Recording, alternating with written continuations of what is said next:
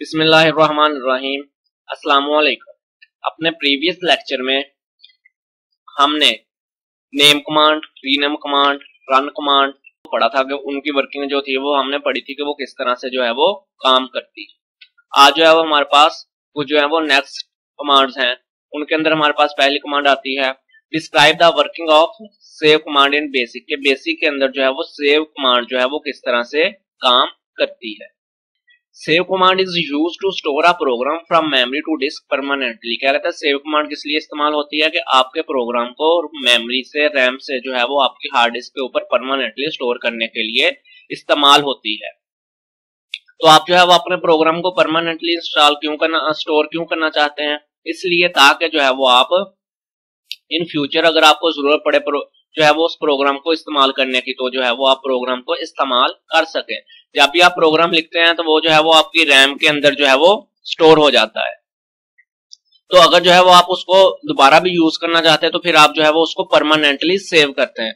तो permanently save करने के लिए आपको जो है वो हार्ड डिस्क के ऊपर उसको सेव करना पड़ता है। तो हार्ड डिस्क के ऊपर सेव करने के लिए आप जो है वो सेव कमांड का इस्तेमाल करते हैं।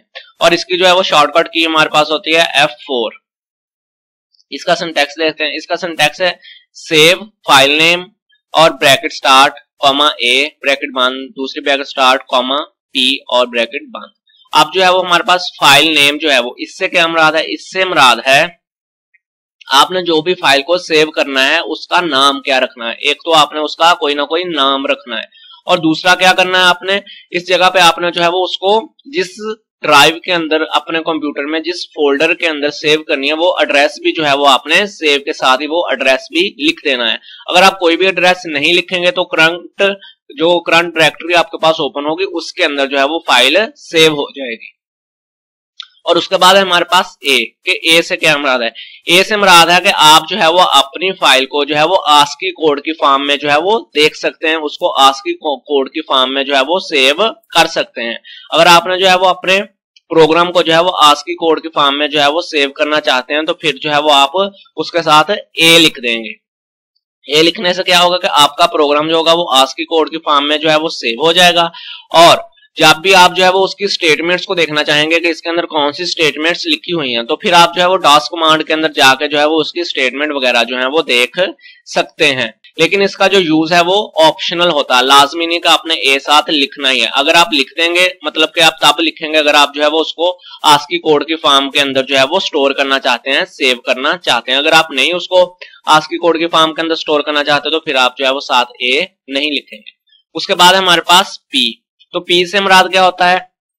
प्रोटेक्टेड बाइनरी फॉर्म पी से protected binary form binary form या बाइनरी कोड तो अगर जो है वो आप अपने फ़ाइल को या अपने प्रोग्राम को जो है वो बाइनरी फॉर्म के अंदर सेव करना चाहते हैं बाइनरी कोड के अंदर जो है वो सेव करना चाहते हैं तो फिर जो है वो आप क्या लिख देंगे? फ़ाइल फ़ाइल नेम के साथ जो है वो आप उसके पी लिख देंगे। तो जो भी कोड जो होगा वो बाइनरी फॉर्म के अंदर सेव हो जाएगा ज़ीरो वन की फॉर्म में जो है वो सेव हो जाएगा। तो क्या होगा कि इसका आपको नुकसान क्या होगा कि अगर जो है वो आप बाद में अपने प्रोग्राम के अंदर कोई चेंजिंग करना चाहते हैं तो ऐसा प्रोग्राम जिसको आपने प्रोटेक्टेड बाइनरी फॉर्म के अंदर सेव किया हुआ तो आप उसके अंदर कोई भी चेंजेस नहीं कर सकते। लेकिन इस प्रोग्राम को आप जो है वो एग्जीक्यूट कर सकते हैं, चला सकते हैं। लेकिन अगर आप उसके अंदर कोई भी चेंजेस करना चाहते हैं तो वो चेंजेस नहीं कर सकते। तो इसका यूज़ भी जो है वो आपके पास ऑप्शनल होता है। लाजमी नहीं है कि आप जो है वो पीबी जो है वो साथ लिखें। आप जो है वो इसकी कुछ एग्जांपल्स देखते हैं। तो पहली एग्जांपल है हमारे पास save double quotation mark start test dot base और जो है डबल कोटेशन मार्क्स को बंद कर दिया। तो इसका क्या मतलब है कि कोई फ़ाइल है जिसका नाम आपने क्या रखा? टेस्ट डॉट बेस रखा है। उसको आप जो है वो हार्ड डिस्क के अंदर सेव कर रहे हैं। उसका नाम क्या रखना है? टेस्ट डॉट बेस लेकिन वो सेव किस कहाँ पे हो रही है? आपने यहाँ पे कोई भी उसको एड्रेस कोई भी जो है वो पाथ नहीं दिया तो वो जो आपकी करंट डायरेक्टरी ओपन होगी, उसके अंदर ही जो है वो सेव हो जाएगी। उसके बाद आपने लिखा, उसके बाद दूसरी एग्ज़ाम्पल है हमारे पास save double quotation marks start my dot base double quotation marks बंद कॉमा ए तो इसका क्या मतलब है? इसका मतलब है कि आप कोई फ़ाइल जो है वो सेव करना चाहते हैं हार्ड डिस्क के ऊपर माई डॉट बेस के नाम से मतलब कि माई उसका नाम होगा और उसकी एक्सटेंशन जो होगी वो बेस होगी। और साथ आपने ए लिख दिया। तो इसका क्या मतलब होगा कि वो आस्की कोड की फॉर्म में जो है वो स्टोर हो जाएगी। तो आपकी जो फ़ाइल होगी वो आस्की कोड की फॉर्म में स्टोर हो जाएगी। जब भी आप उसको देखना चाहते हैं, उसकी स्टेटमेंट वगैरह को तो आप जो है वो डॉस के अंदर जाकर जो है वो कमांड्स लिखेंगे तो आपको जो है वो उसकी स्टेटमेंट्स शो हो जाएगी। तीसरी एग्ज़ाम्पल हमारे पास save double quotation mark start my dot base double quotation mark comma T तो इसका क्या मतलब है कि आप कोई जो है वो फ़ाइल सेव कर रहे हैं, जिसका नाम माई है, उसकी एक्सटेंशन बेस है, लेकिन वो किस फॉर्म में है? प्रोटेक्टेड बाइनरी फॉर्म के अंदर जो है वो आप उसको स्टोर कर रहे हैं। तो प्रोटेक्टेड बाइनरी फॉर्म का क्या मतलब होगा कि वो जो है वो बाइनरी फॉर्म के अंदर सेव हो जाएगी। तो ऐसी फ़ाइल जो बाइनरी फॉर्म के अंदर सेव होगी, उसको आप एग्जीक्यूट तो कर सकते हैं, देख तो सकते हैं, चला भी सकते हैं। लेकिन उसके अंदर अगर आप कोई चेंजेस करना चाहते हैं, कोई मॉडिफिकेशन करना चाहते हैं तो वो आप नहीं कर सकते। उसके बाद हमारे पास है next command working of L list command in BASIC L list command जो है वो किस तरह से काम करती है बेसिक के अंदर? L list command is use to print all or specific statement of a program in memory on the printer क्या कहता है कि एल प्रिंट कमांड आप किस लिए इस्तेमाल करते हैं अपने प्रोग्राम की जो है वो सारी की सारी स्टेटमेंट को या जो है वो कोई मखसूस स्टेटमेंट्स को प्रिंट करने के लिए प्रिंटर के ज़रिए प्रिंट करने के लिए जो है वो इस्तेमाल करते हैं। आपका ऐसा प्रोग्राम जो ओपन हुआ हुआ है मेमोरी के अंदर लोड होकर ओपन हुआ हुआ, उसकी जो है वो आप सारी की सारी स्टेटमेंट या कोई मखसूस स्टेटमेंट को प्रिंट करने के लिए जो है वो आप एल लिस्ट कमांड का जो है वो आप इस्तेमाल करते हैं। इसका जो सिंटैक्स है हमारे पास एल लिस्ट और लाइन नंबर अब जो है वो लाइन नंबर से क्या मुराद है वो स्पेसिफिक लाइन जो आप जो है वो प्रिंट करना चाहते हैं। और उस मतलब कि एल लिस्ट आप वैसे का वैसे लिख देंगे और जिस लाइन को आप प्रिंट करना चाहते हैं, वो लाइन नंबर लिख देंगे तो वो लाइन के अंदर जो भी स्टेटमेंट लिखी होगी, वो प्रिंट हो जाएगी।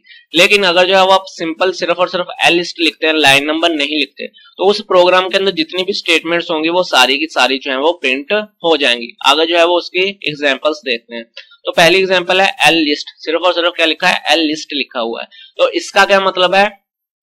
कि आपका जो भी प्रोग्राम है, उसकी जो है वो सारी की सारी जो प्रोग्राम आपने ओपन किया, उसकी सारी की सारी जो स्टेटमेंट्स हैं वो प्रिंट हो जाएँगी। उसके बाद हमारे पास दूसरी एग्जांपल है L list thirty dash eighty thirty से एटी तक। तो क्या होगा कि इसके अंदर जो है वो आपका जो प्रोग्राम होगा, उसकी ना थर्टी से पहले वाली लाइनें प्रिंट होंगी, ना एटी के बाद वाली लाइनें प्रिंट होंगी। बल्कि क्या हो जाएँगी थर्टी से एटी तक जो लाइनें हैं वो प्रिंट हो जाएगी।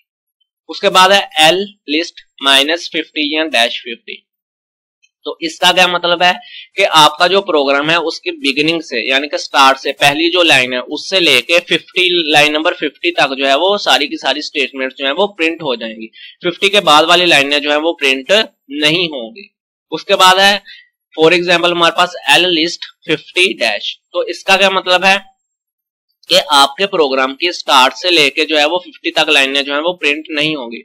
50 के बाद वाली जितनी भी लाइनें हैं वो सारी की सारी जो है वो प्रिंट हो जाएँगी। उसके बाद हमारे पास नेक्स्ट कमांड है working of L print command in BASIC के बेसिक के अंदर जो है वो एल प्रिंट कमांड जो है वो किस तरह से काम करती है, उसकी क्या वर्किंग है। L print command is use to print data के प्रिंट कमांड जो है वो डाटा को प्रिंट करने के लिए इस्तेमाल होती है। अब डाटा से क्या मराद डाटा से मराद है कि आपके जो भी वेरिएबल्स होंगे, जो भी आपने वेरिएबल्स अपने प्रोग्राम के अंदर डिक्लेयर किए होंगे, उन वेरिएबल्स को प्रिंट करने के लिए इस्तेमाल होगी। और उन वेरिएबल्स की जो वैल्यूज़ हैं, उनको प्रिंट करने के लिए इस्तेमाल होगी। और आपके पास जो कांस्टेंट वैल्यूज़ होंगी, उनको प्रिंट करने के लिए जो है वो एल प्रिंट कमांड जो है वो इस्तेमाल होगी। इसका जो है वो आपके पास सिंटैक्स है एल प्रिंट एक्सप्रेशन के एल प्रिंट वैसे का वैसे और यहाँ पे जो है वो आपने एक्सप्रेशन लिख देनी है अब जो है वो यहाँ पे एक्सप्रेशन से क्या मराद है? एक्सप्रेशन से मराद है जो भी जो है वो न्यूमेरिक वैल्यूज़ प्रिंट होनी है यहाँ जो है वो स्ट्रिंग वैल्यूज़ जो भी प्रिंट होनी है, जो भी न्यूमेरिक एक्सप्रेशन या स्ट्रिंग एक्सप्रेशन जो है वो प्रिंट होनी है, इससे ये मराद है। अगर जो है वो आपके पास तो आपने एक्सप्रेशंस को प्रिंट करना है तो आप क्या कर सकते हैं, उसको, आप क्या करेंगे सेमी कॉलन से उनको सेपरेट कर देंगे। एक एक्सप्रेशन लिखेंगे, उसके बाद सेमी कॉलन लगाएँगे और उसके बाद जो है वो दूसरी एक्सप्रेशन जो है वो लिख देंगे। और जो है वो आपके पास स्ट्रिंग एक्सप्रेशन से क्या मराद है कि आप जो है वो स्ट्रिंग को कांस्टेंट प्रिंट कर रहे हैं यहाँ जो है वो आप कोई स्ट्रिंग वेरिएबल को जो है वो प्रिंट कर रहे हैं। इसके एग्जाम्पल्स देखते हैं। तो यहाँ पे लिखा है एल प्रिंट और डबल कोटेशन मार्क्स के अंदर जो है वो उस्मान लिख दिया। तो डबल कोटेशन मार्क्स के अंदर उस्मान लिखा है तो इसका क्या मतलब है कि ये जो है वो कोई स्ट्रिंग वैल्यू है। तो क्या होगा कि इसके अंदर जो है वो उस्मान जो है वो प्रिंट हो जाएगा। उसके बाद दूसरी एग्जांपल है, उसके अंदर है एल प्रिंट ए ए हमारे पास क्या है? कोई वेरिएबल है। तो इसका क्या मतलब होगा कि ए की कोई ना कोई वैल्यू होगी। तो जब ये वाली जो है वो स्टेटमेंट चलेगी तो ए की जो भी वैल्यू होगी, वो जो है वो प्रिंट हो जाएगी। उसके बाद तीसरी एग्ज़ाम्पल है हमारे पास L print double quotation mark उस, उस्मान डबल कोटेशन मार्क जो है वो क्लोज होगी, और सेमिकॉलन एम तो इसका क्या मतलब है कि दो एक्सप्रेशन जो है वो हमने प्रिंट करनी है, एक उस्मान है और दूसरा एम है, जिनको हमने सेमिकॉलन से सेपरेट कर दिया है। तो अब क्या होगा? अब उस्मान जो है वो प्रिंट हो जाएगा वैसे का वैसे ही।